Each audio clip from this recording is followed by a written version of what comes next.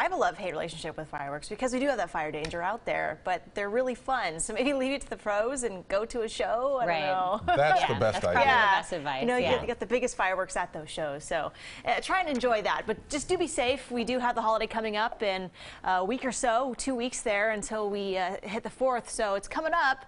Uh, as we look into our first week of summertime, we are looking at some wet weather. We're watching the system well offshore here. It's turning away and going to push some cold air into our region along with some moisture. So we are looking at more rain as we head towards our Wednesday afternoon and the chance for some thunderstorms uh, there too. But currently we're seeing a nice little patch of some light rain working from the south uh, northward here towards Vancouver. So likely some wet areas, but overall we are mainly cloudy out in Portland and a bit more sunny further south. Right now 66 degrees in Portland with mostly cloudy skies, a bit gloomy out there, but not bad. Low 60s out towards Stoller Winery where we are seeing a bit more sunshine there, more sun breaks. 70 degrees out towards the gorge. We're looking mostly sunny there. And out towards the coast, Lincoln City, a bit cloudy. Some spots along the coast uh, are seeing more sunshine. So we're getting hit or miss clouds and some hit or miss drizzle there uh, for the afternoon so far. So here's our future cast. Going into the rest of our afternoon and evening, we'll still keep a chance for some spotty showers around.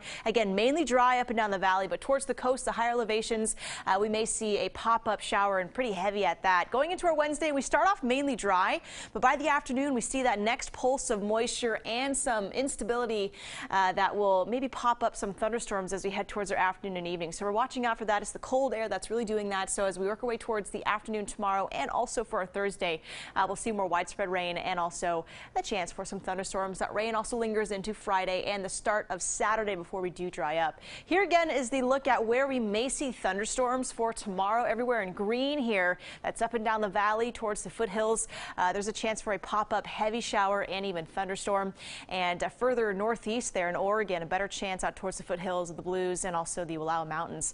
So here's our forecast for today at the coast. We'll top off in the 60s today. We'll get a mix of clouds and sun, some passing showers still possible. In Portland today, we'll top off in the low to mid 70s today with an isolated shower. Better chance of that this evening.